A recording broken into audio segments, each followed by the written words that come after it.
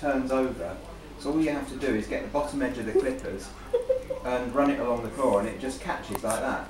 And if that's the bit you cut off, Oh, okay. and that's the little sharp bit. When they're older, you've got to start looking for the quick and finding Yeah, it. is that the And if she's doing this, you go back and you have it done another time. There, you relax. You gonna let me? Here you go. You gonna let me have a go?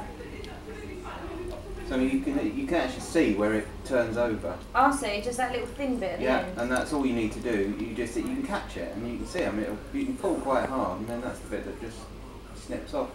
And if you get one that doesn't do that, it doesn't need cutting. Oh, okay. That's all they need. Oh, And then when they get to big size, you're in more trouble. yeah. Here you go. Another addition. I remember with her. Lexi's got one that you have to leave long, and you can never remember which one it is. Otherwise, it catches. But these, you just sort of keep um, that kind That's of true, the kids are just popping up. Yeah. Thank you. And you're quite happy to have yours Oh. done. But I, Yeah. Now. if you do little and often, they're okay.